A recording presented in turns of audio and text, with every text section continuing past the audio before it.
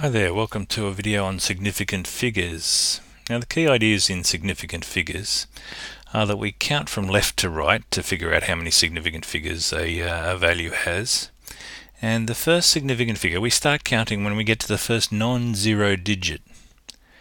And every other digit, once we start counting, every other digit to the right of that is significant or can be, whether it's a zero or not. Let's have a look at some examples. So when we're counting and we're asked to see how many significant figures certain numbers have, we start counting from left to right and we uh, start counting when we hit the first non-zero digit. Now we don't have to go very far in this first number to hit a non-zero digit. That first digit is a non-zero digit. So we'll start counting our significant figures there. One, two, three, four digits there that are significant. So we say that's a four significant figure uh, expression. Uh, here, the second value, the second the second number here, we don't start counting our significant figures until we hit the first non-zero digit. That too is the uh, is the digit where it's the first non-zero digit we hit, and we start counting our digits then. So that has three significant figures. Once we start our counting where the 2 is, that's our first non-zero digit, every other digit, whether it's a 0 or not, can, can, be, can be considered to be significant. So those middle zeros there, even though they're zeros, they're after the first non-zero digit and are considered to be uh, significant in that number there. So there's a total of five significant figures in 20,034. In this last uh, example though, we only start counting our significant figures when we hit the first non-zero, and that's the 5. So working from left to right, we start counting on the 5, and uh, and then one more there gives us a total of two significant figures altogether.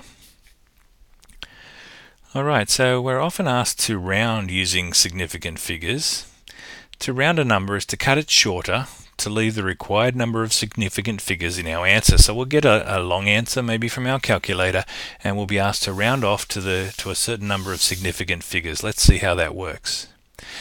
Uh, the way we uh, do this is we cut the number after the required number of significant figures. We chop the number up, uh, or chop it short anyway. Then we have to check the next digit. It's called the critical digit. The next digit after that um, that cut is made um, we have to check that. Now, if that critical digit is less than 5, we leave the cut number as it is. Uh, but if that critical digit is 5 or more, we add 1 to the final digit, or we round up. So uh, that's how we do it. And the, and the little motto here five or more raise the score. Now we did this when we're rounding when we rounded um, using decimal places but this is slightly different. We just count it's well pretty similar but we just start counting our significant figures in a different spot. We don't start counting necessarily from the decimal point. Let's have a look at some examples. This will clear it all up here. We'll keep all those uh, that that decision tree in mind underneath here. Let's see how we would round correct to three significant figures. The number 92.76 2. Now the rule is we start counting our significant figures when we get to the first non-zero digit working from left to right. So that 9, the first digit there, is the first significant figure. So if we wanted to have two, three significant figures altogether, we want to chop that number or round it after the 7 there. So that's where we want to chop it. Now the proper way to round this is we check the critical digit. Now in this case if we're chopping it after the 7 the, the critical digit here is the 6.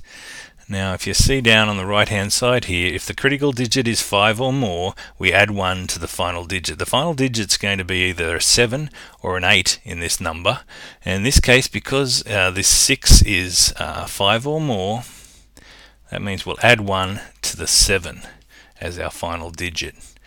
So we end up with a uh, an expression of 92.8 and that's been rounded to three significant figures. It's leaving us with three digits there once we started counting.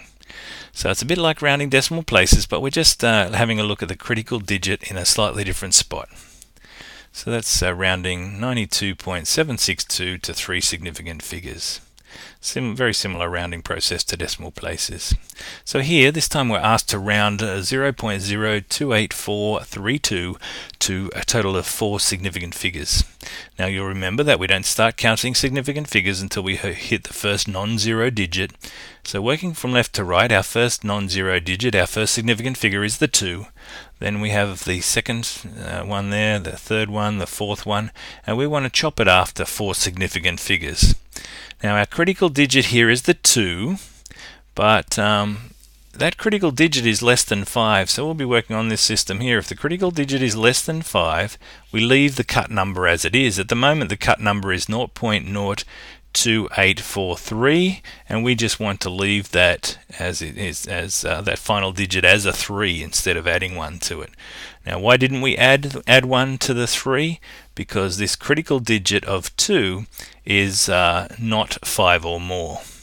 So notice we're left with four significant figures in our final expression.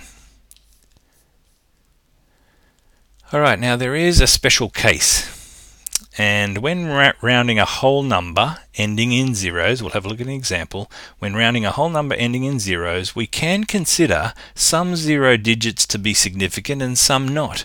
It's quite a quite a quirky little example, this, but it's worth uh, having in the back of your mind in case you're asked about it. So let's have a look at this uh, example here. If we want to round correct to two significant figures, 20, 2584, let's have a look. Our first significant figure would be the 2.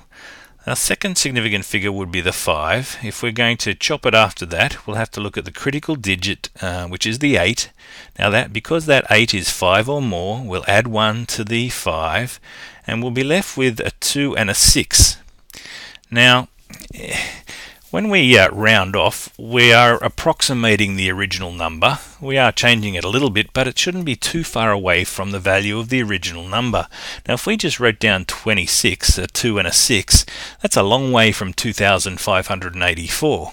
So we have to keep in mind that uh, the principle that a rounded answer once we've rounded it off, it must be a decent approximation, a good approximation of the original number. Now, saying 26 is not a very good rounding off of 2,584, is it?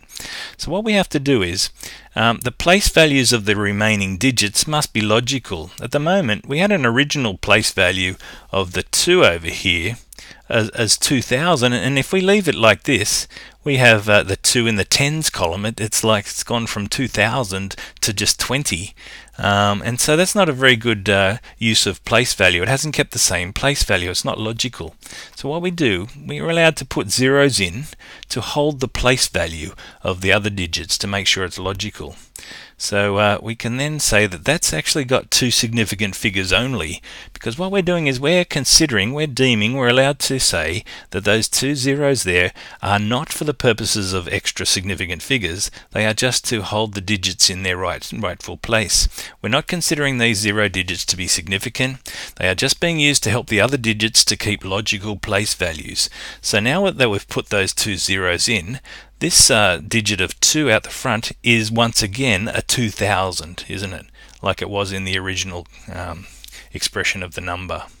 So that's a bit uh, strange there. We're allowed to have a freedom, the freedom to say that we can put zeros in at the end of numbers uh, if we need to keep the place values the same as they were before or similar, so that we have a sensible approximation uh, for our final result.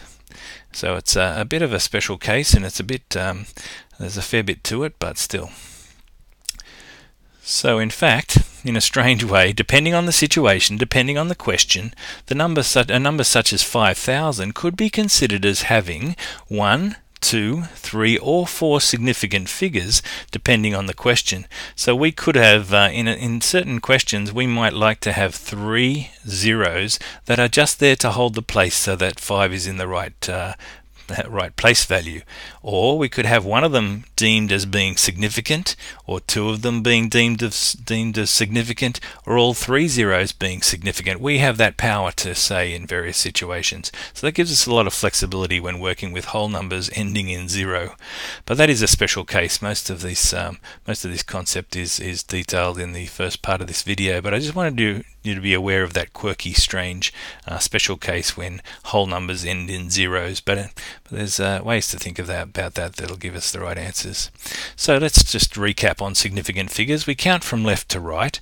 The first significant figure is the first non-zero digit, and once we identify that, every other digit, whether it's a zero or not, to the right of that first one is uh, can be significant.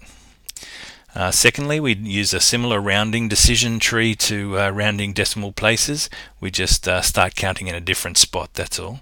So five or more raise the score. and that quirky example at the end there, whereby we're allowed to consider some zeros at the end of whole numbers to be significant, depending on our purposes. So I hope that helps with significant figures. Quite a bit uh, of information in there. Hope it helps. And watch the video again if you like, or other videos from peterblakemaths.com. Thanks a lot for listening. See you next time.